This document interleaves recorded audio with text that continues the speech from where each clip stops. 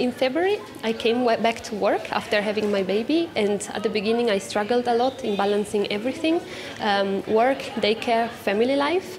And um, Laura allowed me to reduce my contract to 80% and also to work um, flexible hours. And now, this way, I can focus on my PhD while at the same time spend quality time with my daughter.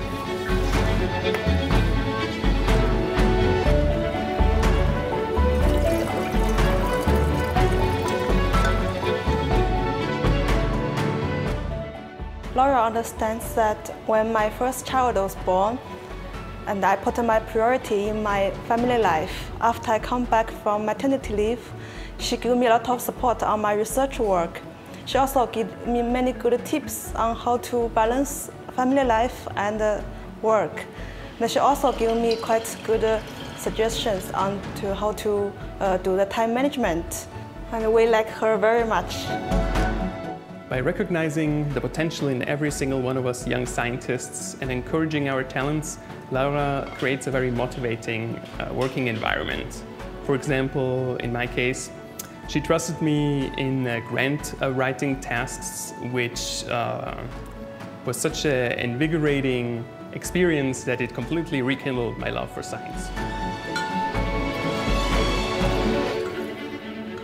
Laura kennt all ihre Mitarbeiter sehr gut und versucht, äh, wenn immer möglich, auf die speziellen Bedürfnisse jedes Einzelnen einzugehen.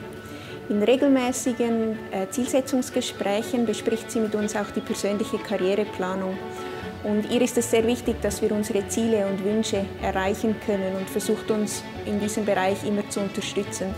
Mir zum Beispiel hat sie schon verschiedene Jobausschreibungen weitergeleitet, die in meine Karriereplanung passen. Ähm, und natürlich, obwohl dies für sie dann bedeutet, wenn ich weggehe, müsste sie für die Lehre in ihrem Bereich jemand Neues finden. Dafür bin ich Laura sehr dankbar. I'm really grateful for having such a wonderful research team. As a food scientist and a chemist, I can compare setting up a research group to assembling a nutritious, uh, sustainable and tasty meal. You can do it in many different ways, but with only with the right ingredients and right reactions during processing can you obtain the optimal result.